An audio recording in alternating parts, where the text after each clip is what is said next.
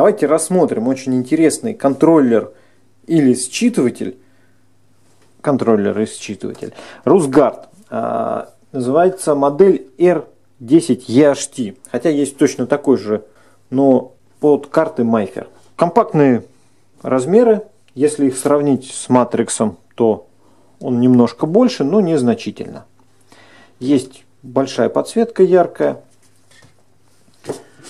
Очень удобное подключение. Подключение производится с помощью клеммной колодки, которая целиком снимается с контроллера. То есть мы подключаем клеммную колодку к проводам, которые выходят из стены.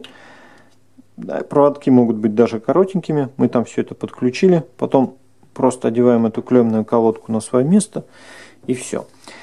Этот контроллер-считыватель может работать в режиме считывателя. Это по умолчанию такой режим установлен. В форматах DALOS, Vigent, Airbus. Это для подключения к контроллерам сетевым RusGuard. Это очень, особенно в режиме MyFair э, считывателя. Там можно включить режим шифрования SL3 простым способом. Также и 485 интерфейс, как я говорю, подключение очень удобное. С обратной стороны есть датчик положения контроллера на стене. Все настройки производятся с помощью кнопки программирования. Подключение стандартное с общим плюсом. А кнопка подключается между землей и специальным контактом. Есть режим, которого нету на Matrix 2K, это режим открытой двери. Нажатием кнопки открытия двери на 5 секунд включается режим открытой двери. Это значит, на замок не подается напряжение. То есть дверь будет постоянно открыта. Электрозамком нужно пользоваться только там в рабочее время, а вечером его можно выключить или наоборот. Вот можно использовать этот режим.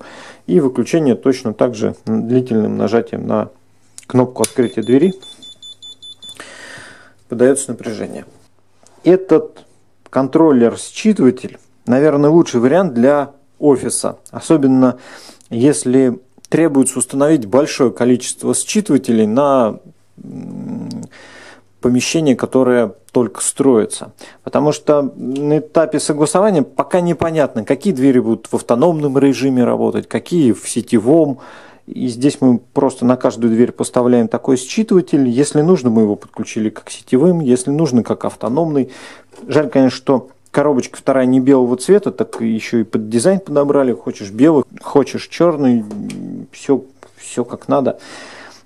По умолчанию этот считыватель-контроллер работает в режиме считывателя.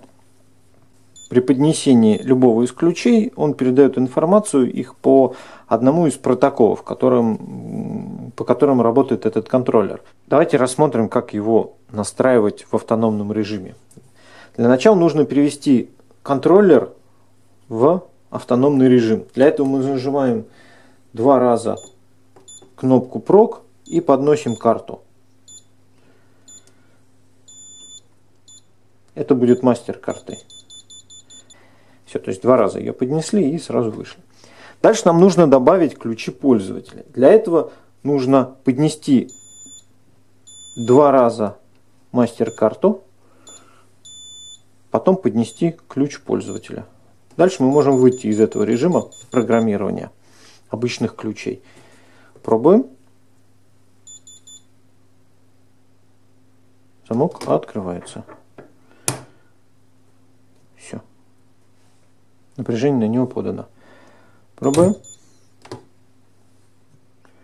Видите, нет напряжения. Все. Время открытия, я считаю, вполне комфортное. На заводе установлено, но его можно изменить. Для изменения времени открытия контроллера нужно 4 раза нажать кнопку PROG. Раз, два, три, четыре. Поднести мастер-карту. Дальше нужно прок нажать нужное количество секунд. 2, 3, 4, 5. Вот 5 секунд он будет работать. Пробуем. 2, 3, 4, 5. Все нормально.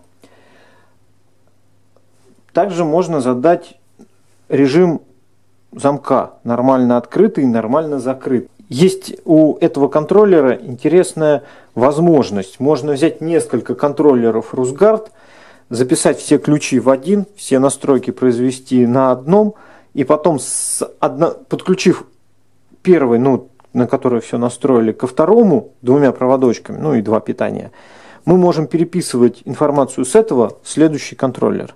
Э, максимальный ток нагрузки на электрозамок. У этого контроллера Русгарда всего 500 мА. Но все электрозамки, которые потребляют больше 500 мА, нужно использовать совместно с бузом, иначе в них сгорит катушка. Ну, соответственно, получается, что 500 мА нам хватит как для электромеханических замков, так и для электромагнитных. Мы вот сегодня рассмотрели такой считыватель, контроллер – Ваше мнение о нем? Напишите, пожалуйста, в комментариях, использовали и будете ли. Мне кажется, это очень хороший вариант. Его смело можно использовать. Купить вы его можете по ссылке, которая размещена в описании к этому видео. Спасибо за внимание.